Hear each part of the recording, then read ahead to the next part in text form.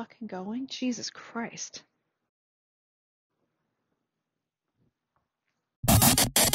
Welcome to Garb Theater.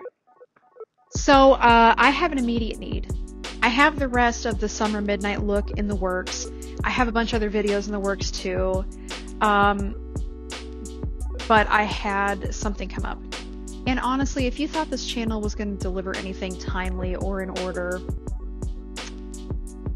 so my immediate need. So I've said before that I, I work from home, and I've had this idea of kind of um, elevated houseware apparel kind of rolling around in the back of my head. I was not prepared at all to execute any of that stuff yet, but something came up.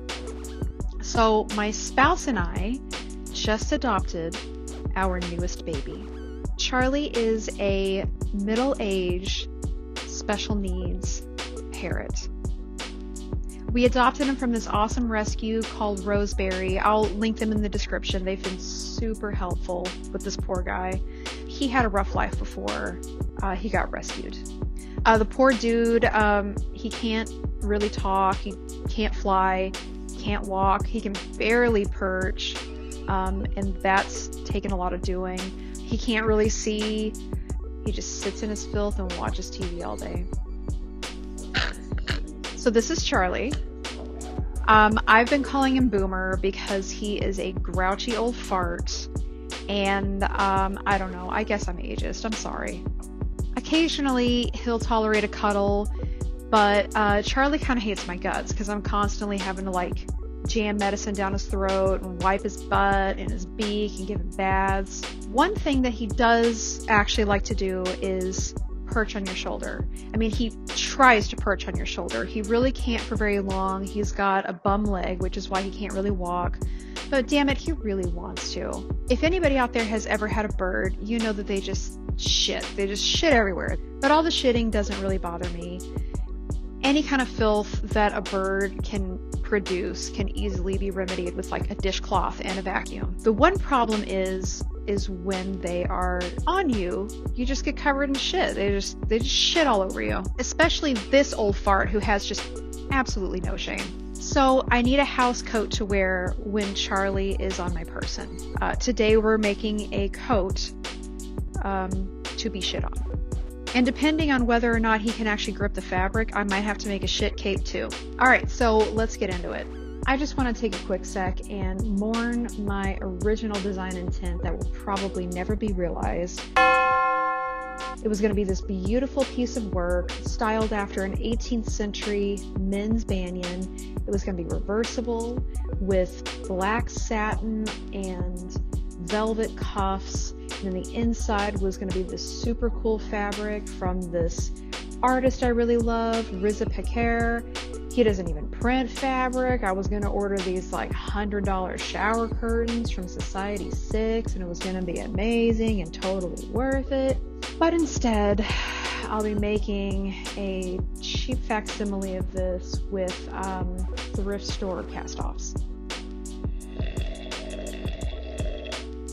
Oh, don't worry, it's fake. I learned my lesson. I just got this beautiful tablecloth from a thrift store. It's kind of a black on black damask. I don't know if you can see that. It's really pretty. I thought this would make a beautiful, I don't know, gown or a corset or something, but um, it's gonna be, it's gonna be shit on. And I want to line this thing, so I'm gonna use uh, this freaking hideous peach satin I got this again from the thrift store for like, I don't know, three bucks for a whole bunch of it. Um, I know that this is designed to be shit on, but even I have standards. So I'm gonna try my hand at dyeing this plastic monstrosity, and uh, and we'll see what happens. I'm gonna do my damnedest to follow Nicole Rudolph's instructions uh, for making this thing uh, for when she made an 18th century men's dressing gown. I, I feel like that would be the simplest thing to do. And if I do have to make a cape, I am going to use this. It, this is some outdoor canvas that I bought a while ago for tablecloths for a bridal shower. And then um, a bunch of it got repurposed into my dress form back there. And I found some products online called diaper capes that are specifically for birds perching on you.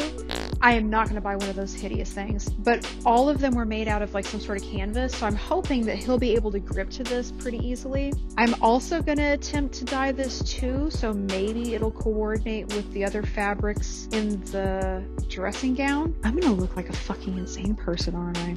A crazy person with a handicap and continent bird. All right, I am preparing everything to dye this ugly crap. Uh, I went to my thrift store and I found this big aluminum pot. It's for frying a turkey. I also bought some utensils. I have never successfully actually dyed anything before. I have attempted to dye things before. The success has been zero. So what I bought for the dye is this Rit Synthetic. I bought Sapphire Blue. I think this plus this might get me some sort of neutral color and that's really all I could ask for. So, um, all right, let's do it.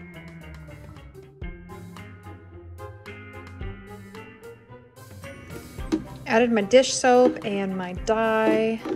I wet the fabric down in my extremely scoured sink. Right, here goes nothing. Okay, so this fabric is not gonna move freely. That's fine. Look at this shit. Oh my god, I've made, I have achieved gray. A beautiful pewter gray. I don't know if I want to keep going and just see what happens, but this is exactly what I was hoping for.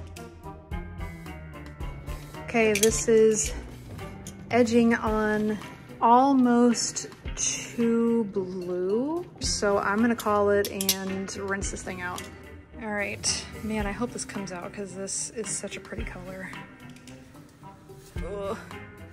I'm so excited. All right, I'm gonna throw this in my wash. I, I really hate to throw away like this whole thing of dye bath, but I, I don't have anything else that I want blue. As a garbage person, I hate wasting stuff. If anybody has any suggestions on like how I can save this or reuse it or something, like please let me know. All right, so I got this stuff washed and dried and ironed. You can see this is the color I started with. God, it looks so nice. So I think I've decided that uh, I still don't like how shiny this side is. This is a this is a lining material, but I think I've decided I'm going to use the back side as the side that's going to be facing out. After watching Nicole's video again, I marked up and cut out the outer fabric. I only deviated from Nicole's pattern in that I didn't have to do any piecing on the sides, and I just extended the side seam all the way to the edge of my fabric to try to make the robe flare out as much as I could. Okay, I don't know how I keep doing this. I, I guess it's because I buy janky, crappy fabric from the thrift store, but I try to cut with the pattern and for some reason the grain is just it's just off. Like I, I wrestled with this for a while and I don't know what happened. Like half of this uh, tablecloth is wider than the other half even though the pattern goes straight. I don't know. Anyway so that's kind of a problem. All right, I got everything cut out. I got the side seams pinned together. I still haven't quite figured out how I'm gonna tackle these sleeves. After I evened them up, uh, they're something like seven inches shorter than I really wanted them to be. So I have these scraps that after I evened these up are about six inches. So uh, I think I'm gonna do something like I don't know, sew two of them together like that. And then like make an extension like here. I'm gonna kick that can down the road. I'm gonna sew up the side seams on the outer fabric. I'm gonna cut the middle and the neckline on the lining and then sew the side seams on that. And attach the outer and lining fabric together along the center front opening. Then once I get to the point where I'm sewing the seams for the sleeves to the inside of this, then I will figure out how I'm going to attach that. I turned everything right side out. Let me see if I can explain this cuff that I took like five hours to figure out yesterday. So here is the finished one. I have the inner and outer fabrics pinned together now. I kind of opened up the seam and laid them flat to pin them together. So now I'm going to make the actual cuff itself. So I have this strip of scrap fabric. I'm going to sew the two pieces long ways first. So I have a piece that will be the inner part of the cuff and a piece that will end up being the outer part of the cuff. I stitched the two strips together and then I did put an understitch so the seam rolls inward and you don't see the stitching. I got my cuff strips sewn together. I stitched the seam, then I sewed the seam allowance down to this side, which this is going to be the side of the cuff that's going to be against my arm. And this is going to be the side of the cuff that you will see on the outside. Alright, so the next step is, with right sides together, I'm going to start pinning the part of the cuff that will eventually be the outside that you see to the unfinished armhole. And uh, because I'm not good at setting sleeves or anything, the technique that I've been doing is I start pinning from the top here, kind of down both sides to the bottom, and I don't cut any of this excess off until I have the thing completely pinned and then I'll sew this seam. Alright now I have everything pinned all the way around and so you can see here is the extra right here. So I marked where I need to make a stitch in order for this to just perfectly fit the sleeve underneath. So I'm gonna even up this line a little bit and then run a stitch all the way down here so that I officially have a tube of a cuff that I can then fold over and stitch all the way down. Alright, so I made the stitch right here. I didn't unpin all this, I just unpinned enough that I could kind of fold the sleeve up and jam it through the uh, sewing machine and then pinned it all back down. So I opened the seam here and I matched up all of the other seams that are also pinned open. So now I'm going to run a stitch along the edge of the whole unfinished arm. Alright, the last bit of doing this cuff is I'm going to fold this down about a quarter inch or so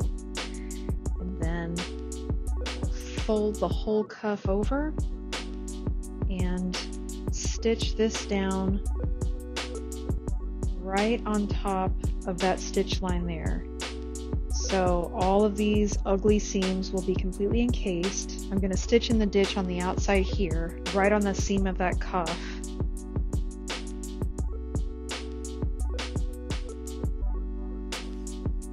Alright, there we go two completed cuffs. They are definitely not twins, but they are at least siblings.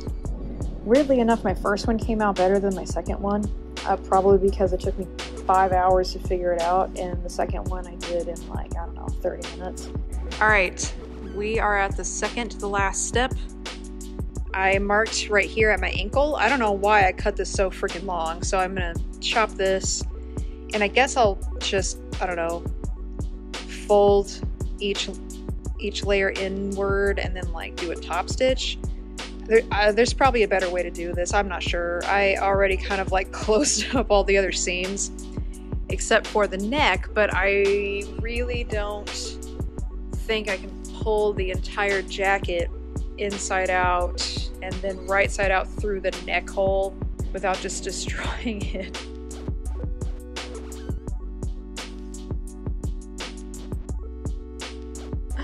I don't know what went wrong when I was sewing this thing, but the hem went tragically off kilter. So, um, I don't like how it looks with the outside stitch anyway. So I'm, just gonna rip it out. I'm gonna turn the thing inside out through the neck hole, I guess. And if there's not enough room, I'll just take some of the stitches out of the, uh,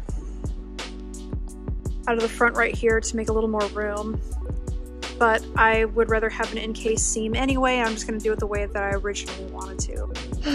Holy crap. Okay, so I redid the hem and I'm sure that this is absolutely not something you're supposed to do, but I, um, I basically did a French seam on this. It's much better now, and even though I'm it, it's not perfect at all, the billowiness that bulk of the seam is giving inside of the inner and outer fabric, I think is kind of hiding how wonky my sewing and this fabric is. So, you know what? I am satisfied. All right, home stretch. So now I just have to take the outer in lining neckband pieces and attach them in here. Whew, she is done. I had to recut the collar a couple times because for some reason I kept cutting it too small. So the last time I didn't even measure, I just cut out a big old hunk and folded everything over until it fit and stitched it on kind of poorly, but whatever, it's done. So uh, it came out much more glamorous than I was expecting. I'm gonna go ahead and put on, uh, I think I'm gonna just stick a hook and eye right there. All right, I got my cape fabric uh, washed and dried. I got this in the bargain bin at Joann's like a thousand years ago, but I think I tracked down the same fabric just in a different color, so I put that in the description. So I'm gonna try using this and see what happens.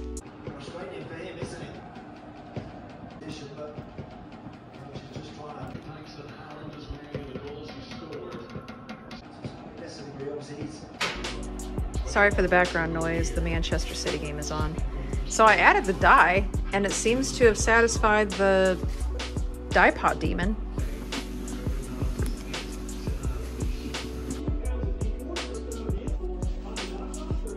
All right, I got it all dyed, and it only dyed the white areas, kind of this uh, mid-tone gray. I think that it came out like this because I only used half of the pack of dye, but I ain't mad at it. It looks all right. I do have a few flaws here and there where the powdered dye, I guess I didn't have it um, mixed very well. It's good enough for a shit cake. So I guess I'm gonna get this thing ironed and get my pattern pieces all cut out.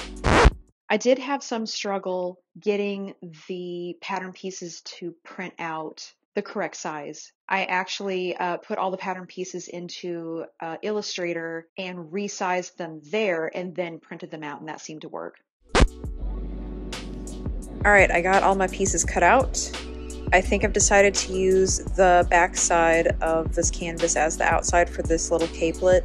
I think it's just kind of a, a pretty gray. And for the liner, I'm just gonna use some bits of this old bed sheet.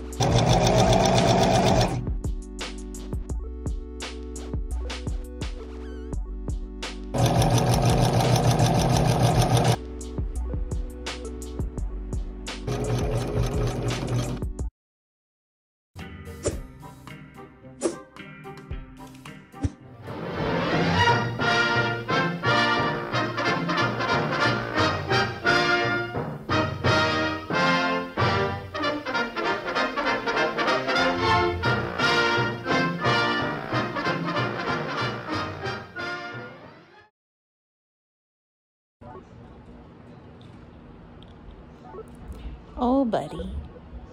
Oh, buddy. This is Boomer. His given name is uh, Charlie. We still kind of use both names. We had him for uh, maybe about a month or so. You can see his condo behind me. Because of the situation he came from, uh, he's not healthy enough to bird. So we had to think a little bit outside the box. He's an orange wing Amazon parrot, and he is, as far as we know, 52, 53 years old. He's on a lot of medicine, so we are working with him and his doctor to get him as good as possible. So this guy needs a lot of attention, but he's getting there. Yeah. He has an Instagram, by the way. He's not really great at it yet, but he's trying. So that's it. That's the whole thing. no. No, sweet boy. He seems to like it, sort of. Did I make anything different than... I mean, kind of not really, but at least this was like sort of free. The satin on the inside of this thing picks up all the lint and the hair from the ground in the apartment and just kind of sticks to the inside. God damn it, I think I'm cursed. This robe fucking snags. The outer snags, the lining snags, my dress snags, my cat snags. What kind of sage do I use to get rid of a snag curse? Uh, is this a success? I, uh, I think so. I think I spent a grand total of nine bucks on this thing. It's, it does the job. Oh, here's his sister. There she is. I know this seems very precarious, but neither one of them give two shits about the other. So, I mean, I'm not gonna let, uh, I'm not gonna let his sister babysit him or anything. Oh, he's taking to the hood. You did very good. Oh. You did very well. You wanna go home? You wanna go home? okay, buddy. Thanks again for coming to Garb Theater. Once again, I want to shout out my Ko-fi supporter, my sweet sibling Shu. She actually has her own YouTube channel now. She is an expert in the fashion industry, has been for years, and she's the person I go to for advice on a lot of my projects, so I definitely recommend checking out her channel. Thanks again to Roseberry Rescue for being so good to us and to Charlie. Don't be beholden to the algorithm. Subscribe to this channel if you like it, don't if you don't. See you next time.